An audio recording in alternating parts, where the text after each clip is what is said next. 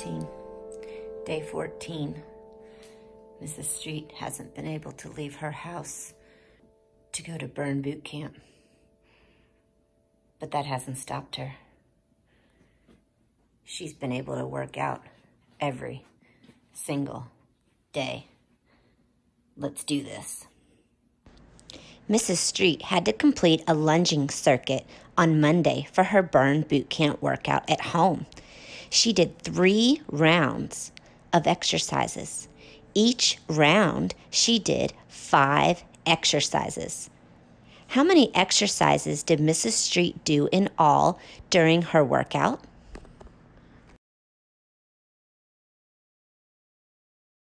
What up?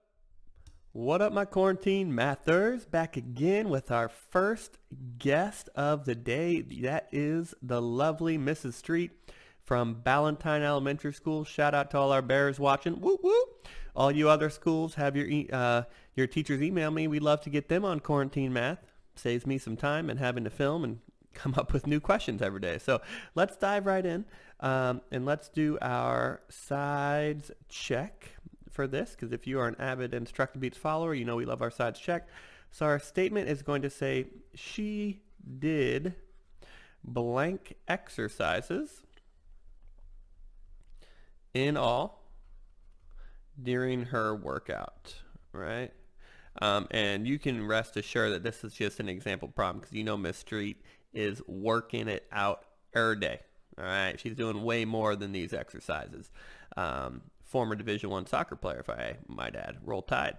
Um, so during her workout, I'm not an Alabama fan. I just want to make that very clear, but she went to Alabama, so I felt like I had to say that. Okay, um, and so the things we would have identified, right? We're like, we should have identified anything about exercises and anything else she said during her workout.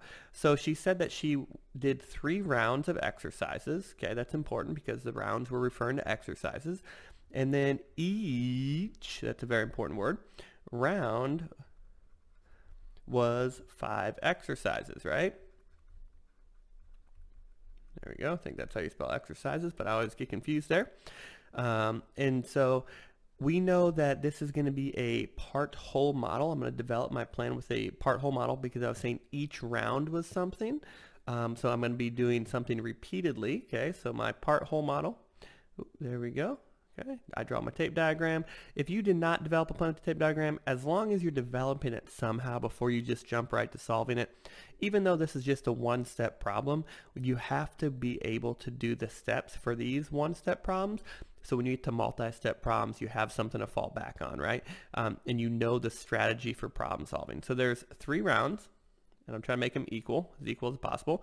Um, so this is one, two, three rounds. In each of them, right, there were five exercises. So each round there's five exercises, and you wanted to know how many exercises she did in all. So a couple things to check. One, your whole right? So this exercises should be the same thing that the parts are, right? Um, so if your total is exercises, your part should also be exercises. You're not going to add up, you know, protein shakes and somehow magically get exercises, right? So if we're looking for blank exercises, then our part should be exercises, and they are because each one was five exercises. You want to know what the numbers are, not just that they're numbers. So to solve this, we're just doing 5 plus 5 plus 5. So there's a couple different equations you could solve this with, right? You could do 5 plus 5 plus 5, and obviously that would be 15. So we know our answer is 15. Or you could choose to repeat, uh, you could choose to view multiplication as repeated addition, and you could do three groups of 5 is also going to be 15. So either one of these will work, but our part whole model showed we were doing repeated addition, which you can choose to view as multiplication, reading that time sign as groups of. You know Miss Street after she works out will definitely be washing her hands. She was not going to touch her face. And if she's feeling sick, she's going to stay inside. So why don't you go ahead and join her with that. Thank you so much for checking us out today. Please like and subscribe if you have not subscribed yet. As always, stay safe, do math, I'm out.